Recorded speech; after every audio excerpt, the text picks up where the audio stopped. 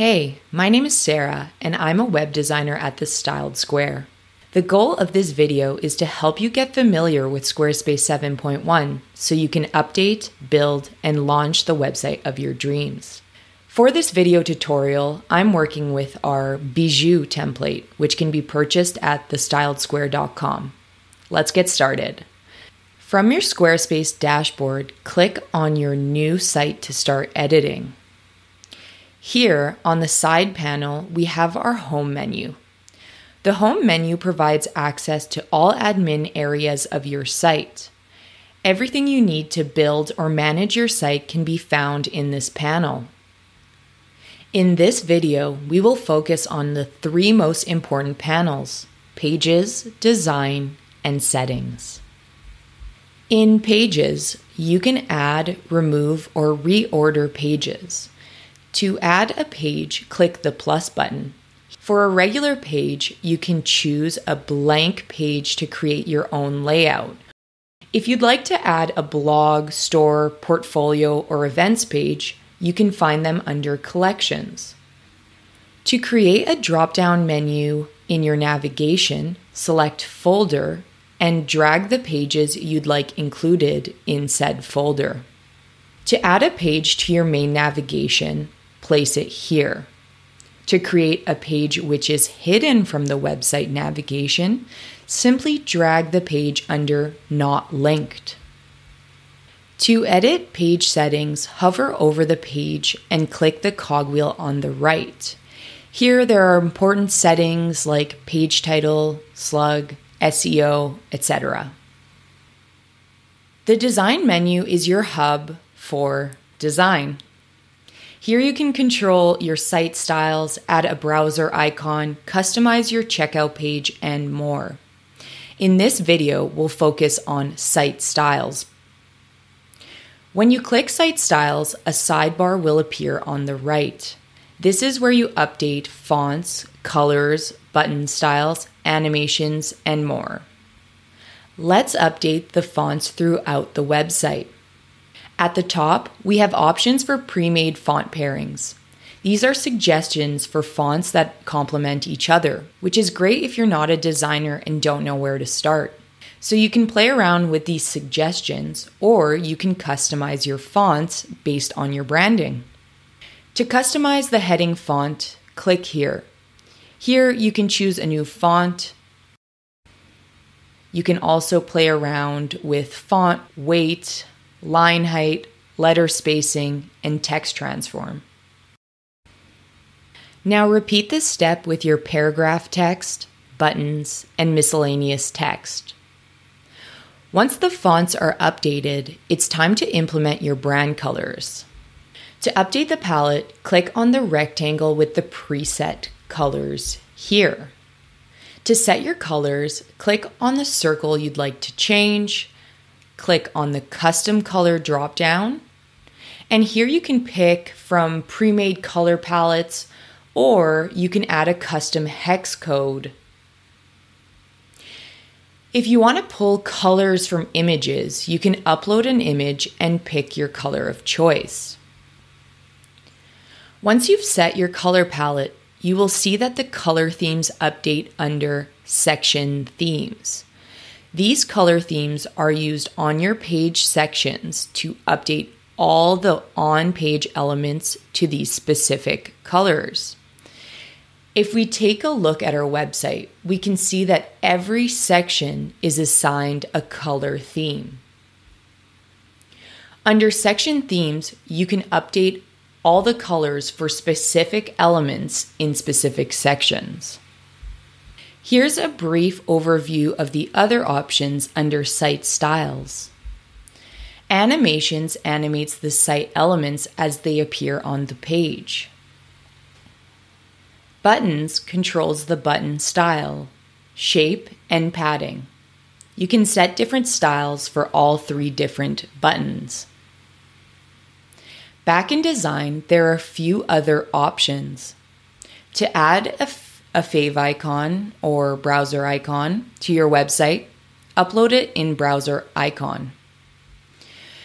You can also customize your lock screen, checkout page, 404 page, and more.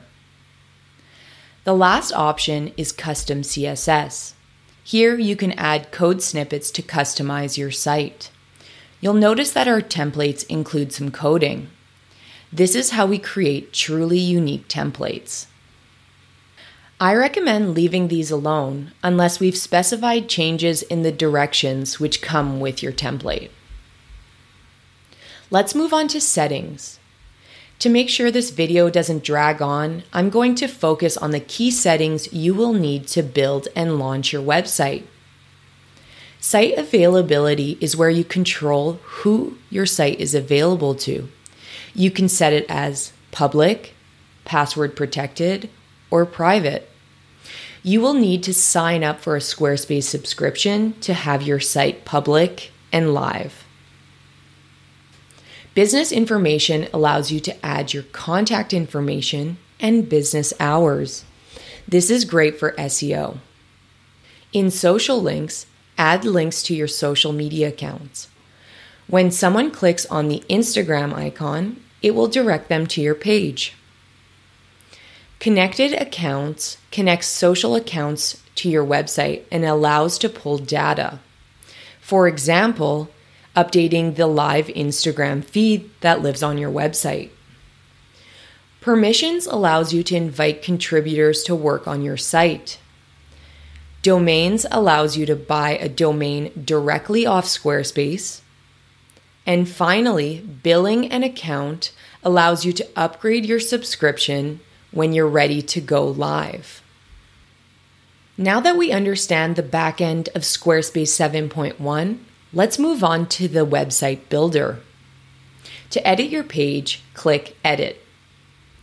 First off, you can edit your site header. To do so, click the Edit Site Header button. Under Site Title and Logo, you can update your site title to your business name and upload your logo here. Below, there's an alternate logo option for mobile. This logo will show up on your mobile, mobile site only. To play around with elements in the navigation, click on Elements.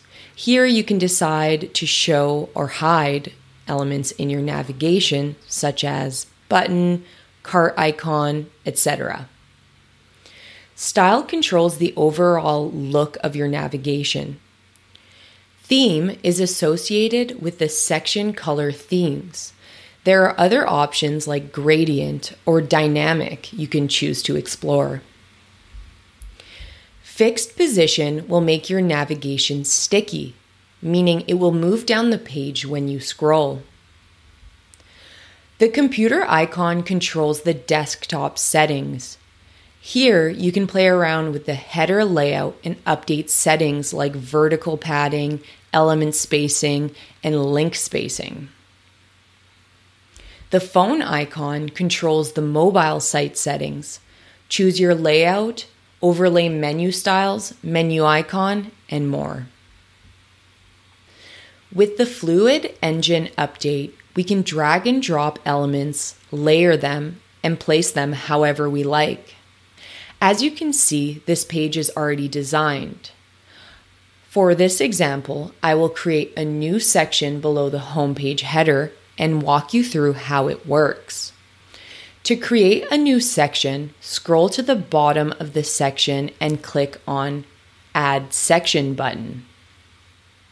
Here, you will see pre-made section templates created by Squarespace. You can choose to add a section template or add a blank section. I will add a blank section. To change the section settings, hover over the section and click Edit section. Under Format, we can control the Fluid Engine grid for the drag and drop builder. Row count controls how many rows in the section.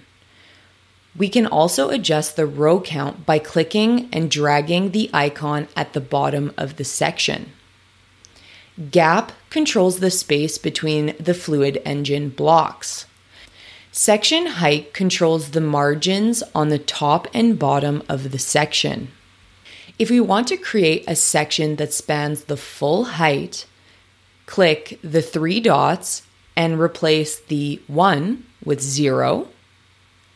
And this will ensure that our content can span the full height of this section. In the background tab, you can upload a background image or video for the section. Colors controls the section themes, as I mentioned earlier. Remember when you set the color palette in Site Styles? Well, this is where you can pick from any of any one of those preset color themes from the design menu. You can move the sections up and down using these arrows, and you can also delete the section by clicking the trash icon. Let's get to building. To add content to a section, click Add Block button on the top left. This will prompt you to add an element. Let's add an image. Click the image and drag it where you'd like to place it. A quick tip with images under Design, you have three options fit, fill, or shape. Fit retains the original image dimensions when you drag the element by the corner. Fill will prompt the image to change to whatever dimension you choose in the drag and drop builder. For our templates, we recommend always using fill to retain the original design. When you upload a new image, you may have to toggle fit and then fill um, once or twice to get the fill effect. Shape will help you create a circular or arched shaped image.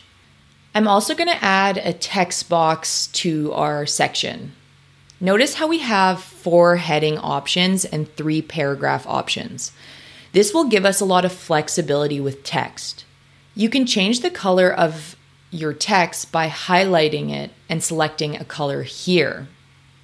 I'll also add a button. To edit a specific element, hover over it and click the pen icon. This will give you a variety of options depending on the element. For the button, we have three different button style options that can be set in site styles. We can also use fit or fill. Fit is a set button size, while fill will adjust the button height and width by dragging, by dragging the corners of the button. We can select multiple elements by holding down Shift, clicking on the elements, and then dragging them. Let's create a split screen quickly. First, I'll go to my section settings and choose the row size without padding. Then I'll update the section height to the minimum by clicking the three dots and updating 1 to 0.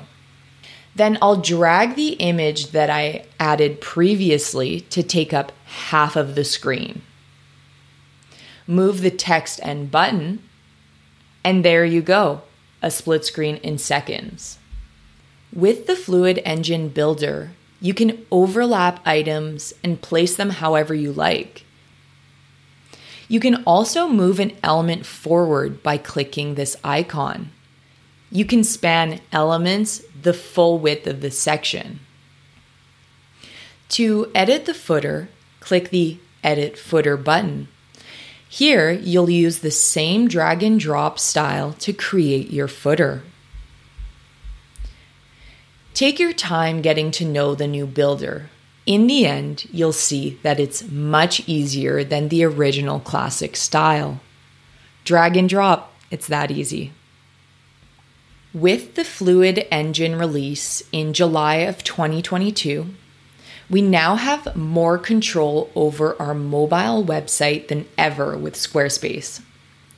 To edit your mobile layout, click Edit and navigate to the phone icon on the right.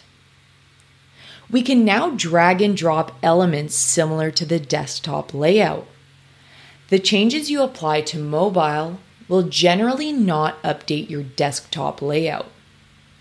There are a few exceptions like the alignment of text and buttons.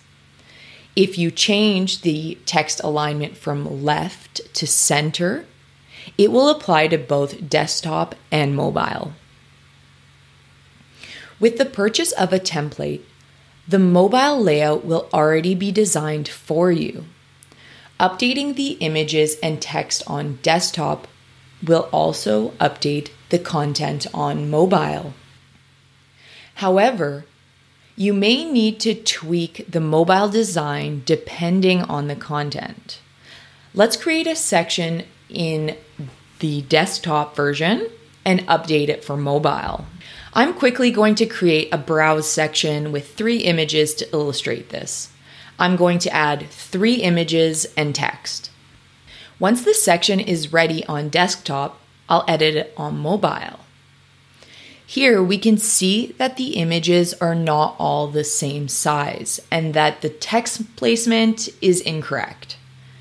As a rule of thumb, elements on the left of the desktop will be stacked above the items on the right. This is important to organize the images and text in the right order on mobile. If the section is too short, you can always extend the grid by dragging it. I always prefer to make this section very tall and then resize it once the content is placed. Let's take a look at desktop versus mobile. Looks great. Adding content to your blog and portfolio is a very similar process. The portfolio pages have less options, however, they function in a similar way as the blog. To add a blog post, navigate to Pages and then click on your blog. To add a blog post, click the plus icon. Now add the post title and content. You can also add images and other elements using the drag and drop builder. This isn't the most intuitive thing, but to further edit the blog post settings, click here on the header. This will give you more options, such as setting tags and categories, allowing comments, SEO, etc. Under options, you can upload the blog thumbnail image and adjust the post URL. The blog thumbnail image is the image that will show up as the cover on the live blog or portfolio page. You can also add an excerpt here. Once you're done, click Apply. Navigate to Done in the right hand corner and either save or publish or schedule your post. Thank you so much for watching. I hope I answered your questions about Squarespace 7.1. Be sure to check out our premium website templates at thestyledsquare.com and happy website building.